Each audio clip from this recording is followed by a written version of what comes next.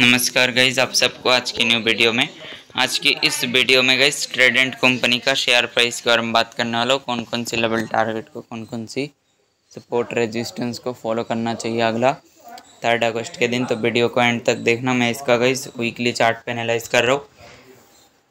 तो weekly chart पे अगर स्टॉक को व्यू करे तो यहाँ से देख सकते हो स्टॉक कंटिन्यूसली एक डाउन ट्रेंड को यहाँ से कंटिन्यू कर रहा है। लॉन्ग टाइम से व्यू करें तो। इसका जो अभी सबसे पहला आप लोग सपोर्ट फॉलो कर सकते हो, जो कि देखने को मिल रहा है। थर्टी पॉइंट सेवेंटी फाइव पे सबसे पहला सपोर्ट देखने को मिल रहा है।